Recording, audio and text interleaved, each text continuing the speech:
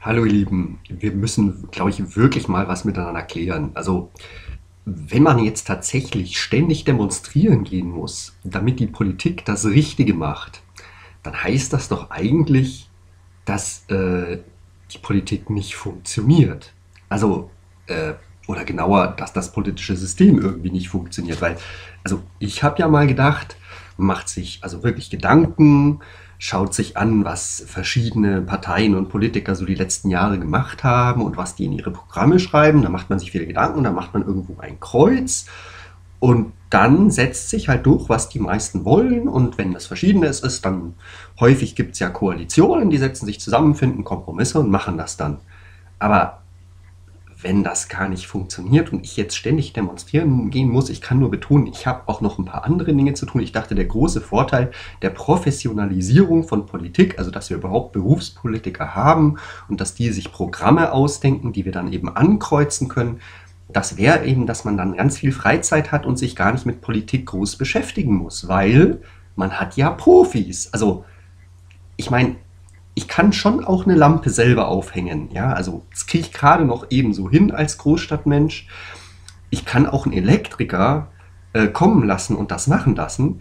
Aber wenn ich den Elektriker kommen lasse, dann möchte ich bitteschön nicht ständig hinter ihm stehen müssen und ihn kontrollieren müssen und alle zwei äh, Sekunden mit einem Transparent vor ihm vor der Nase wählen, wählen, weil er sonst nicht das tut, was ich gerne hätte, dass er tut. Also, ähm, also beides ist ein bisschen viel. Also äh, hat gesagt, wenn, wenn jetzt wirklich wir für jedes Scheißanliegen, das in die falsche Richtung läuft, äh, demonstrieren gehen müssen, dann könnte man sich auch einfach mal fragen, wa warum? Warum machen wir das mit den Parteien und den Wahlen überhaupt? Also, wo ist da der Sinn? Also, äh, wir wählen die und dann machen die aber nicht das, was wir wollen, dann äh, warum wählen wir die? Wofür? Also, wo ist da der Sinn? Ich kann das nicht wirklich erkennen mehr. Ähm, natürlich kann man sagen, ja, das ist halt das Spiel und dann geht man demonstrieren, aber man sieht ja, dass eben nur bestimmte Leute überhaupt die Zeit haben zu demonstrieren. Andere haben einfach keine Zeit, die haben auch noch was anderes zu tun. Man könnte, wenn man böse ist, äh, sagen, darauf wird ganz fest gesetzt, auf diese Erlahmungseffekte, die das natürlich hat. Ja, also Protestbewegungen haben ein großes Problem. Das Problem ist, sich zu organisieren. Wenn du es in organisierter Form haben willst, dann gründest du eben eine Partei, eine weitere Partei, die man dann wieder ankreuzen kann. Und dann, wenn die groß wird, dann macht die wieder den gleichen Mist, was alle anderen auch machen. Ähm, was aber ja nicht heißt, dass das, was dann da gemacht wird, wenn eine Partei groß ist, dass das ist, das ist, was die äh, Leute wollen. Also das ist ja das, was wir uns mal gedacht haben, dass das so funktioniert. Das ist halt sozusagen, Parteien werden erwachsen, Parteien werden vernünftig und diese Vernunft besteht eben darin, dass sie dann umso mehr den Bürgerwillen umsetzen und von ihren extremistischen Positionen runterkommen. Aber wir sehen ja, dass das nicht so ist. Die Leute setzen ja nicht unseren Bürgerwillen um. Das tun sie nicht in, kein, in keinem Sinne von Bürgerwille, sondern sie, sie, setzen halt so eine institutionelle Logik um, also Parteiräson, dann scheinen noch irgendwelche verschiedenen Lobbygruppen, von denen manche halt einfach deutlich mehr Geld haben als andere, äh, eine Riesenrolle zu spielen oder besser vernetzt sind und halt wirksameren Lobbyismus machen. Also das ist das, was halt passiert und das passiert halt nahezu mit jeder Partei, vor allem wenn sie einflussreich wird. Also ähm, ja, und dann kann man dagegen auf die Straße gehen. Aber halt, wenn du Zeit hast, wenn du sehr, sehr, sehr viel Zeit hast. Also nicht nur mal, sondern beständig, weil da muss ja Druck aufgebaut werden. Da müssen dann die Politiker richtig Angst bekommen, ja, dass sie abgewählt werden und so. Das ist ein Mordsaufwand. Also, ich weiß nicht, wie es euch geht, aber ich habe auch noch ein anderes Leben. Ich habe auch noch ganz andere Interessen, als jetzt ständig auf die Straße zu gehen. Ja, natürlich kann man sagen, das ist meine Bürgerpflicht, aber warum ist es denn meine Bürgerpflicht? Ich habe doch die Politik jetzt professionalisiert. Das machen doch jetzt die für mich. Die repräsentieren doch uns, oder? Warum muss ich jetzt protestieren? Das ist ja so, wie wenn im Vertrag mit einem Handwerker steht, dass ich dann beständig dann irgendwie hinter ihm stehen muss, damit er machen, was er will. Und das schreiben wir schon in den Vertrag rein, weil das ist ganz toll. Also bitte nicht falsch verstehen. Ich finde es wirklich super, dass wenn ich demonstrieren gehen will, ich nicht verprügelt, nicht erschossen werde, dass keine Schlägerbanden wie in anderen Ländern engagiert werden, die mich professionell verprügeln oder dass in unserem Demonstrationszug Undercover-Staatsagenten eingeschleust werden, die sich daneben benehmen, womit man dann rechtfertigen kann, dass man mit Gewalt auf uns eindrischt. Oder dass man nachts, wenn man demonstrieren war, dann abgeholt wird von der Wohnung und man verschwindet einfach und ward nie mehr gesehen. Also da bin ich echt dankbar für, dass das nicht so ist.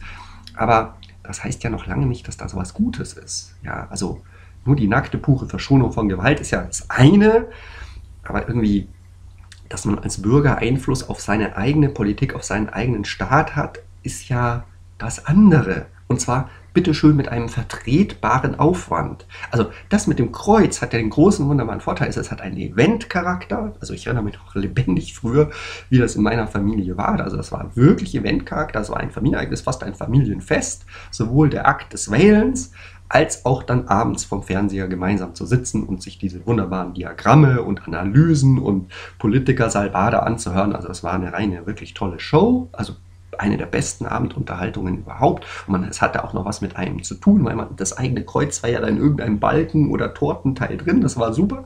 Also äh, das ist ja, also, und, und man hat nicht viel Aufwand. Also einmal alle vier Jahre, einmal alle fünf Jahre, das ist ja, das ist, also das kriege ich hin. Ja, also, also das ist ja, also vom Aufwand her ist es also schon richtig gut. Von der Wirkung ist es halt, vielleicht hängt das ja mit dem Aufwand zusammen also wenn ich derart wenig für was tun muss und auch sehr wenig präsent bin, wo, dann kann ich eigentlich nicht erwarten, dass ich sonderlich viel Wirkung habe. Also es ist in keinem anderen Lebensbereich so, dass das so ist, dass wenn man, dass wenn man nicht da ist, dass man dann viel Einfluss hat. Ja. Ähm, Natürlich ist jetzt demonstrieren gehen und zwar am besten täglich und zwar am besten für die verschiedenen Dinge, die kacke laufen, weil die Politik sie halt nicht angeht und nicht macht. Ja, wäre dann wiederum Vollzeitjob. Da kann ich dann gleich wieder Berufspolitiker werden. Bloß wenn ich eben mehr Berufspolitiker werde, dann werde ich ja den gleichen institutionellen Zwängen ausgesetzt, wie alle anderen idealistischen Politiker auch, die es ja auch schon vorher gab. Also ich gehe nach wie vor davon aus, dass die meisten Politiker am Anfang ihrer politischen Karriere tatsächlich ernsthaft Idealisten sind. Das glaube ich nach wie vor. Ich habe mehrere kennengelernt in meinem kurzen Leben und das ist mein Eindruck. Ja, das sind nicht alles Karrieregeile, ich will reich werden, irgendwas. Das sind Idealisten. Meistens sind sogar die idealistischsten Leute in der Gesamtbevölkerung. Das ist so mein Eindruck von außen. Auch damit auch die Leute, die so ein bisschen verrückter sind als andere. Also das ist mir sehr sympathisch weil so bin ich auch.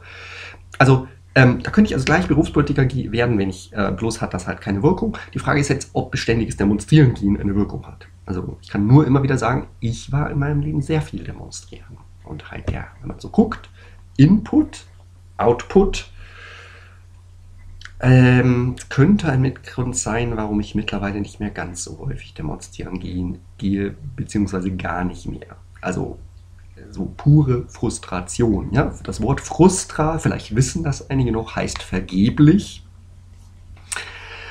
Naja, frustriert ist man, wenn man viel Aufwand betreibt und wenig Output davon hat. Ne? Also natürlich kann man das dann wieder reduzieren. Also ich mache einfach nur ein Kreuz, da habe ich wenig Aufwand und wenig Output. Ja? Äh, ich kann auch demonstrieren gehen, da habe ich viel Aufwand und wenig Output. Das ist also noch frustrierender als nur das mit dem Kreuz. Da kann ich wenigstens schimpfen. Nur der Handwerker hat seinen Job nicht gemacht. Bah, bah, bah. Aber egal welchen Handwerker ich engagiere, komischerweise keiner macht seinen Job. Ja, also wie viele Parteien ich schon gewählt habe in meinem kurzen Leben, mein Gott, mein Gott, darf man gar nicht drüber nachdenken. So, aber das Ideal wäre ja, kleiner Aufwand, große Wirkung. Ne? Also das ökonomische Prinzip schlechthin. Kleiner Aufwand, große Wirkung. Also ich muss schon machen, was machen, mehr machen vielleicht als nur ein Kreuz, habe dafür aber deutlich mehr Output, als wenn ich eben nur ein Kreuz mache oder beständig demonstrieren gehe. Das wäre es ja.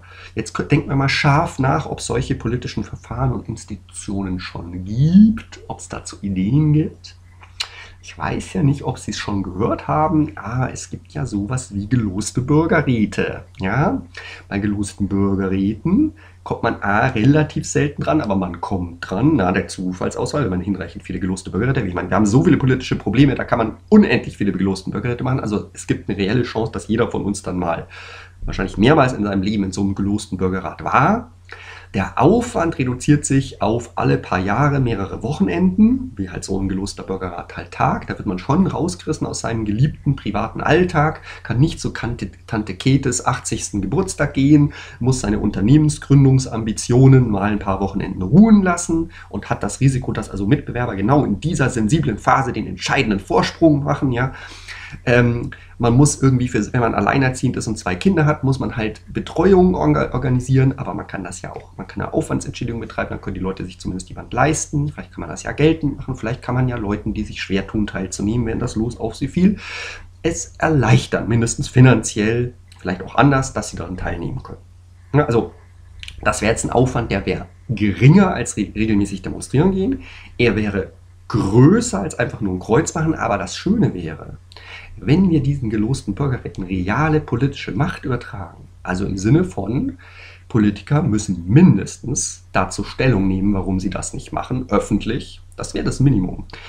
Härter wäre zum Beispiel, sie müssen das machen, was die, der geloste Bürgerrat ausbaldowert hat, was der, wo die Bürger sich untereinander geeinigt haben. Auch sehr schön ist, finde ich, wenn man geloste Bürgerräte einsetzt, die alle vierteljährlich einen Minister reviewen. Also die, ne, wie so ein Mitarbeiter Gespräch. Ne? Wir sind ja der Souverän, wir sind ja der Chef dieses Ministers. Minister heißt ja Diener, also das ist unser Diener. Das steckt im Wort Minister drin. Also Lateiner sind hier klar im Vorteil. Und ähm, ja, und dann schaut halt der Kunde vierteljährlich drüber, ob er findet, dass der Handwerker weitermachen darf oder ob man den jetzt feuert und einen anderen Handwerker engagiert. Ja, so. Und das wäre also relativ starke Kontrolle, weil ich meine, viele Politiker haben also viel investiert, bis sie mal Minister sind. Also steckt Lebenszeit drin. Das ist schon ein Investment, das schreibt man ungern ab als Mensch so nach Adam Riese und äh, nach Psycho Adam Riese Psychologik.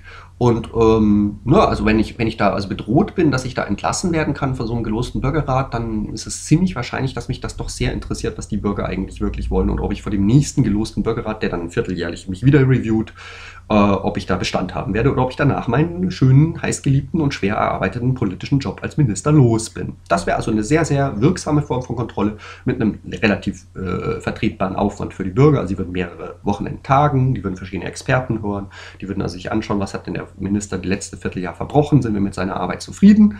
Und wenn man zufrieden ist, darf der weitermachen und wenn man nicht zufrieden ist, dann wird er halt geschasst und wir wählen den neu. Also ich bin ja dann für Direktwahl ins Ministeramt. Also da können dann die verschiedenen Parteien ihre äh, Kandidaten aufstellen und, ähm, und äh, dann geht es wahrscheinlich auch ein bisschen stärker als bisher um Sachkompetenz. Also wird man wird es halt schon auch personalisiert. Ich bin ja immer mit dieser Personalisierung so ein bisschen auf Kriegsfuß, aber in dem Fall scheint es mir sinnvoll zu sein. Dann schaut man halt hin für, was weiß ich, den neuen Verteidigungsminister, Innenminister, Umweltminister, Wirtschaftsminister, tralala. Ähm, halten wir den, den Kandidaten, keine Ahnung, der AfD, ja, der AfD für am kompetentesten oder vielleicht von von, keine Ahnung, der Tierschutzpartei, ich weiß es nicht. Also da, da wird es dann sehr stark und da gibt es dann das Gleiche, was wir mal auf dem Land haben, auf dem Dorf haben, dass also auch Außenseiter eine reelle Chance haben, weil sie zwar vielleicht nicht der größten Partei, der bestorganisiertesten, mitgliederstärksten, finanzstärksten Partei oder gepempertsten Partei ähm, äh, äh, angehören, sondern äh, weil sie halt persönlich überzeugen mit ihrer Sachkompetenz und ihrer empathischen Art. Und dann wählen wir den ins Amt und dann ist er plötzlich ein, von einer Außenseiterpartei ein, ein, ein Mensch, also, keine Ahnung, halt Wirtschaftsminister zum Beispiel. Ne? Weil wir ihn halt als Mensch kommen lernen und dann hat er die Kontrolle über diesen Apparat, ne, über seine Behörde, bringt da seine Leute rein und wirft andere Leute raus, ne, was halt dann so neue CEOs immer gerne mal machen um halt zu zeigen, jetzt bin ich da und jetzt läuft es nach meiner Nase. Aber dann gucken eben, guckt der wahre Chef, die Investoren der Politik, die Bürger, gucken gemeinsam drüber, ob sie damit auch zufrieden sind mit der Arbeit des CEOs. Das machen wir in Wirtschaftsunternehmen auch. Warum wir es in der Politik nicht machen oder machen mit einem solchen Aufwand, das muss mir erstmal jemand erklären. Bisher hat es keiner geschafft. Ne? Und ähm, könnt ihr euch mal überlegen. Ne? Kleiner Aufwand, große Wirkung oder ob wir weitermachen wollen, kleiner Aufwand, keine kleine, kleine Wirkung oder ob wir wollen Riesenaufwand, ebenfalls sehr kleine Wirkung. Also mir scheint ja das eine einfach rein logisch oder menschlich oder weiß nicht, wie ich das nennen soll, ähm, einfach ähm, am naheliegendsten zu sein, aber anscheinend bin ich da allein. Ceterum censeo democratiam esse sortienda.